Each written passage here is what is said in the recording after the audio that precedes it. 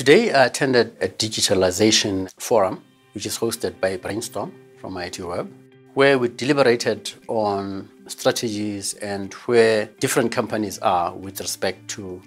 digitalization and digitization. The digitization is the conversion from paper form to an electronic form, whereas the digitalization that we're talking about is the changing of the processes to a digitalized process. Some of the interesting findings that we had today were how business need to really be the drivers and the owners of the overall process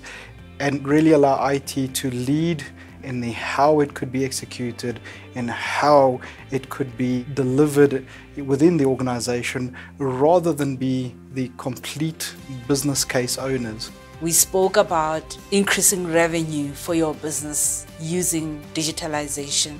We spoke about the importance of data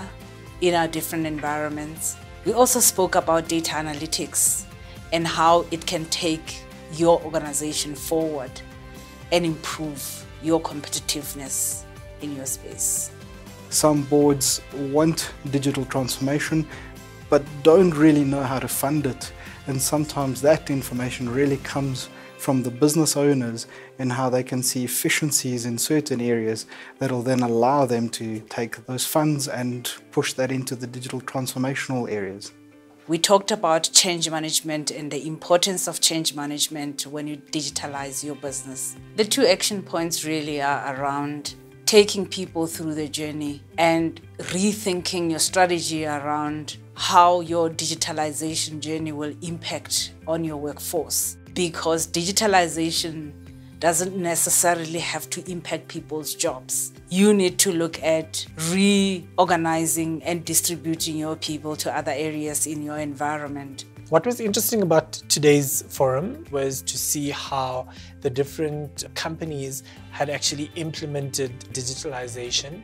and how in some instances there were companies like Mercedes-Benz that had brought their staff on board by introducing roadshows to every staff member and helping to get the staff on board at the beginning of the journey so that everybody understood what the impact would be. For me today, one of the key takeaways would really be to better understand how to embrace change management when talking to customers around their digital transformation journeys